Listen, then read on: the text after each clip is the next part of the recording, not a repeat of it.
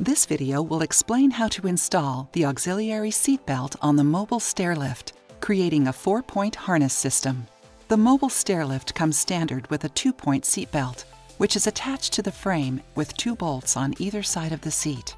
The auxiliary seat belt consists of two belts, which are fastened with a buckle and have a loop at either end. When disconnected, there is a buckle belt and a tongue belt.